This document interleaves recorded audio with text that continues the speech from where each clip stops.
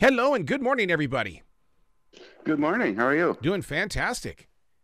Great. This is Ryan Jacobson calling for the podcast interview. Absolutely, Ryan. I'm spoiled because usually I get these little directors on there going, ah, Arroe, you've got uh, six minutes, and uh, Ryan's going to be on here in a couple seconds. Oh man, I, I'm, I'm blessed today just to have the the, the direct energy. oh, I'm not that fancy. yeah, but you speak a language that I've studied my entire life, and that is is that choose your path. This is my mantra is winning is a choice. We are on the same page, and the thing about it is I love that you are willing to spread the language. Oh, absolutely. I love it. To be in that moment, something had to have happened in your life because you had to experience something for you to say, you know what? If I felt this way, somebody else is going to as well.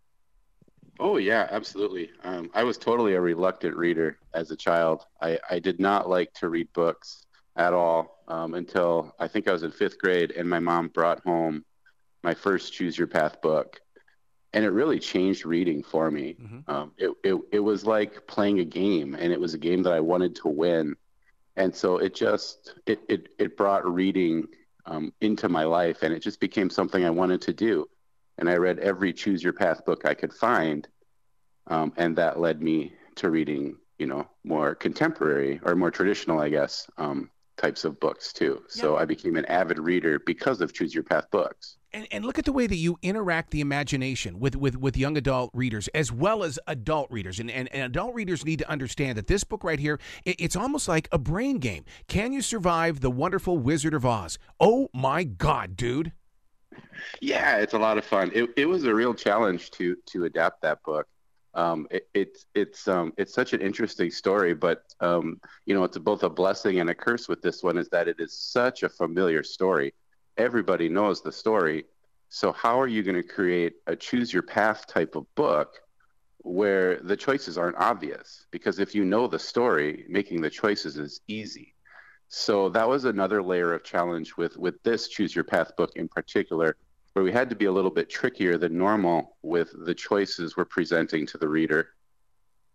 Are, are parents reaching out to you in the way of saying, you taught my child how to make an everyday choice on choosing a path? Because, I mean, it, it, instead of wandering through life, it, it's like the, the young adult readers are going, no, no, give me direction. Just, and I need to find some way to find it. Yeah, you know, I haven't heard that specifically from parents. I do hear a lot of stories similar to my own where um, you know I'll get an email from parents after they've read one of the Choose Your Path books, and they'll say something to the effect of, "My child won't put down your book, yeah. and now they want to read more books." And I, I'm so happy to be able to share my own personal experience with reading. Um, you know, to introduce that to another generation of readers. So that is that is probably more rewarding than anything else to me. That um, I'm getting kids who aren't reading um, to become um, more avid readers. Does that put the pressure on you as a creative mind? And the reason why I bring that up is, is that you know everybody wants to be in radio, but can you do it six days a week? Can you do it for thirty days? Can you do it for you know fifteen years? I mean, that's the same thing as an author or a writer. Is that you know a lot of people want to do it, but now the pressure's on you because kids do want the, your books. I guess I've never thought about it, but now I'm probably going to be paralyzed oh, God, no. if I try to write a book.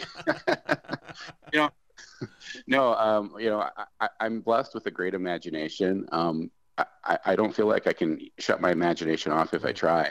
So, I mean, there are book ideas brewing in my mind all the time. And I guess I don't look at it big picture like that. Um, when I'm writing a book or when I'm choosing which book to work on next, I'm always thinking about the child me. Mm-hmm. Like, would I have liked this book? Is this a book that I would not have been able to put down? And if the answer is yes, then I keep going. And if the answer is no, uh, then I need to try something else. Yeah. So I guess I'm using myself as my target audience. And it really seems to be working because it's connecting with, with a lot of middle grade readers.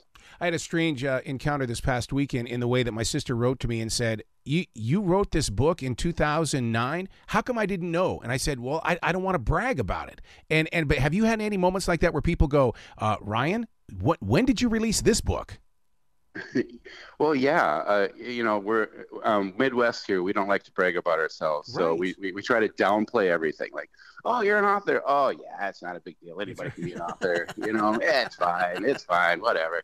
Um, yeah, I, I have books that even I forgot I've written. Um, um, yeah, I'm, I, I don't even know what the exact count is, but it's it's you know it's somewhere in the ballpark of sixty or seventy books wow. in, in, total. Um, yeah, so my mom tries to get a copy of every book that I do. I don't think she has them all either. so one thing that really scares me as as a, a writer is the fact that we are going into this world and it's getting bigger and bigger every day. It's called the metaverse. And I, I'm so afraid that the metaverse is going to take the imaginations away from the book page. I yeah. I hope not. Yeah. I guess, you know, my my kids would much rather play video games these days than pick up a book. In fact, I had an avid reader who turned into a reluctant reader at some point um, due to his obsession with video games. So it's gotten to the point where we are trying, you know, to make time for them to be readers. Mm-hmm. Like you need to at least read for a half hour today. And, and that doesn't mean up in your room where you might be actually playing your video games. Come sit down on the couch and we're all going to read for a half hour. And hopefully that's helping. Well, and the, but, thing, the thing I would like about things like that is is that, that when you do read, it creates conversation outside your home because I mean, you because you want to share the information that you just experienced. Yeah, I, I would hope so. Uh, you know, if you're reading a good book, you absolutely want to share it with other people. And you know, you get so much more from reading. I don't have to tell you, but you know, reading is teaching you empathy yes. and you how to have conversations. And uh, you know, COVID for one, video games, social media, all of that, I feel like this generation is losing the ability to communicate face to face with each other. And so something that, you know, I'm working on. It. Like I'll tell my son, if you're going to ask someone to go to the dance, you're not going to send them a text. you're going to walk up to that person and you're going to say, will you go to the dance with me? And if you can't do that, then don't ask. Let's talk about Lake Seven. I mean, wow, a, a, publishing company in a world where so many authors and writers are told no. How do you get through that storm? Uh, well, it's it, it, it's a company that was um, sort of bred from necessity. Uh, the, the, backstory to that, I think, is pretty interesting and pretty unique. Um, I had no plans to be an author. I had no plans wow. to be a self-publisher. Um, this was 2005.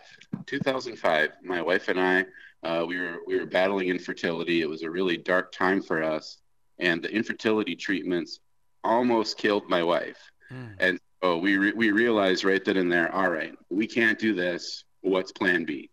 And for us, Plan B was adoption.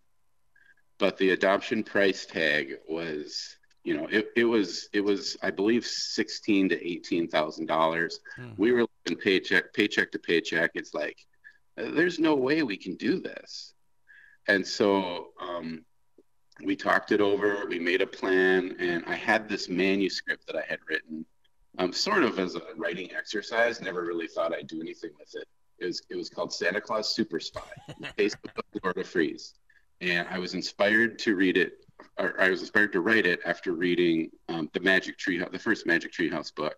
I thought I had never experienced an early reader chapter book before, and I thought I can do this. I mean, I can write a chapter book. So um, I wrote this manuscript, put it in a drawer, forgot about it. Uh, we needed to come up with big money fast, mm-hmm. And so we talked it over and decided. Well, how about if we self-publish this, and I'll bring it to craft fairs. I'll do some school talks at all the local schools, and uh, we'll see if we can make some money fast that way. And so I'm, uh, you know, back then self-publishing was not a big deal. It was not there was there was hardly any information about it anywhere. So I went to the library, our local library. I found the one book they had on self-publishing. I checked it out, and I sort of stumbled my way through creating my own publishing company and self-publishing this book. And it was it was just going to be something to do to fundraise for adoption and it snowballed into where we are today, where we're doing probably uh, you know 10 to 12 books a year and a real real emphasis on choose your path books. Wow. Wow. See and that's inspiring because there are so many writers that are listening that i call them hider writers in the way that they write but they hide. And and and you've you've got to be able to plant you already planted the seed by putting it on paper. Now you've got to let it grow and give it some sunshine. And it's through people like yourself ryan that that people can grow forward. Yeah, and I, I do a lot of talks about self-publishing now. It is so easy now. Uh, to to self-publish a book. Mm-hmm. It's not easy to sell it once you self-publish it, right. but anybody who wants to put a book out there can do it now. You know, back in 2005, it was a you know it was a five thousand dollar investment. Yep. Yep. Um, nowadays, uh, you don't have to spend a dime if you don't want to. What uh, you, you, know with, with like Amazon KDP it, and those it. types of program, uh, you know, it's it's it's really something. Yeah, and that, and that's the thing about it is that a lot of people they, they'll put the book. First of all, to even create a book is is a challenge and a chore as it is, and it, there's a lot of discipline involved. And now you've got to market it. It's just like podcasting. You've got to learn how to just keep giving it to the people. Yeah, that's the hard part. Uh, you know, that's the part I still struggle with. Uh, you know, we, we, create these books, and, and Lake Seven Creative is not just a self-publishing company anymore. We work with other authors and other illustrators but uh, marketing it is hard. And really, whether you're self publishing it or whether you're publishing it traditionally, um, most of the marketing really falls on the author. The author needs to be active. The author needs yeah. to, you know, get on social media, get out to author events, get get out to library readings, and just, you know, start in your corner of the world and let everybody in your corner of the world know about this book, and then grow from there what's your daily discipline as a writer? I mean, because the first thing I do when I wake up in the morning, some people like to go for walks and stuff. I do my walk, but I also have to write. Nothing happens unless I write first. What about you? Well, I have a day job. Okay. Um, it, it, actually, I, I do marketing. Uh, coincidentally enough, I do marketing for another publishing company. Wow. I, am like a graphic designer and marketer by day. Um, Lake Seven Creative is still a glorified hobby for me. Yep. So basically, my writing and my um, publishing on the side is every spare moment I can find. Yep. You know, during lunch breaks, um, after the kids get to bed, those are the times when I'm working on my books. Are you surrounded by people who understand that your imagination doesn't turn off? Because I bump into people and they and, and sometimes they look at me and they just go, "You're just weird. You're just weird." Yeah, yeah. I, I suppose that I suppose you kind of have to be if you're a fiction author a little bit. Yeah. Um, it, sometimes it's a little bit weird, but um, I, I think most of the people in my circle are pretty used to it now, and they uh, shrug their shoulders, and that's just him. Is it is it long form writing first in a bright yellow tablet, or what? What do you do? You go straight to the computer? You know, I used to write in a notebook. Uh, I I I, I uh, sort of make fun of myself about this now, but I used to have these delusions that I'm going to write all my books in a notebook because someday these notebooks are going to sell for millions of dollars. So I'm going to have every manuscript in a notebook. And so that used to be my process.